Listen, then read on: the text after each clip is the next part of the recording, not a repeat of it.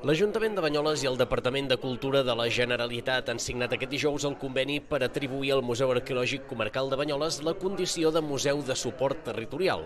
Amb el nou conveni, l'equipament banyolí donarà servei als 11 municipis del Pla de l'Estany, a més de Besalú i Maià de Montcal de la Garrotxa, i a 26 equipaments patrimonials bàsics d'aquests municipis. Amb aquest conveni es determinen les funcions que assumirà el Museu Arqueològic, l'àmbit territorial en el que actuarà i els equipaments o col·leccions que se'n beneficiaran. Aquesta acció s'emmarca en el Pla de Museus 2030 per prestar servei i suport als equipaments patrimonials bàsics i a les col·leccions obertes al públic. Mitjançant l'acord es formalitza una llarga trajectòria de col·laboració en matèria museística entre el Departament i el museu, que fins ara ha consistit en la participació en xarxes temàtiques i territorials de museus, la cooperació en comissions i projectes museològics diversos, la coorganització d'exposicions d'abast nacional o l'elaboració conjunta d'importants projectes projectes de museïtzació i restauració de béns mobles i immobles. En aquest sentit, el regidor de Cultura i Patrimoni Cultural de Banyoles, Miquel Cuenca, ha destacat que és una figura molt important que reconeix i confirma la feina que el museu ha estat fent fins ara. Per la seva banda, el director dels Museus de Banyoles, Lluís Figueres, explicava que aquesta figura atorgarà al Museu Arqueològic una major legitimitat en algunes tasques que ja duia a terme. Perquè és, um, és um, un, un reconeixement després d'una certa trajectòria i per obrir-ne una, una en aquesta mateixa línia. No?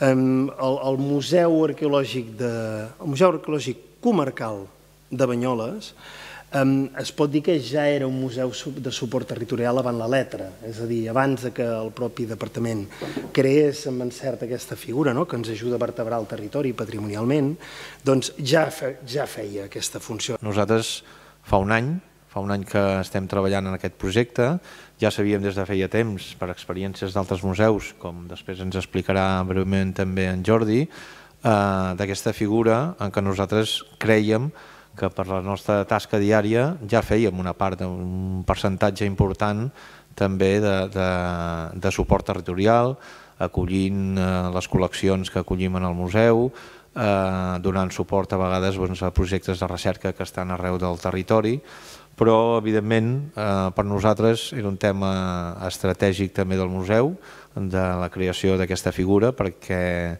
creiem que ens pot donar més legitimitat en molts d'aquests aspectes. La directora general de Patrimoni Cultural del Departament de Cultura, Sonia Hernández, ha aprofundit en la figura de Museu de Suport Territorial que amb la incorporació del Museu Arqueològic de Banyoles tenen només set equipaments de tot Catalunya. Hernández explicava que amb aquest sistema es pot treballar d'una manera mancomunada i amb criteris de proximitat. Eh, eh, són museus que entenen el seu marc d'influència més enllà de la gestió pròpia i que per tant contribueixen a articular i ordenar aquest suport en els equipaments del seu territori.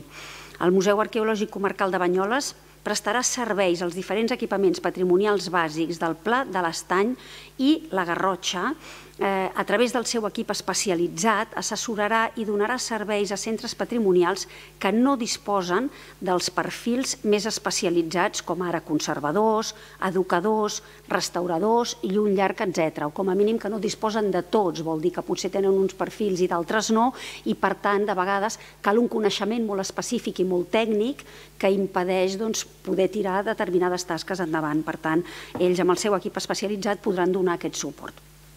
És una manera de treballar cooperativa i mancomunada i amb criteris de proximitat.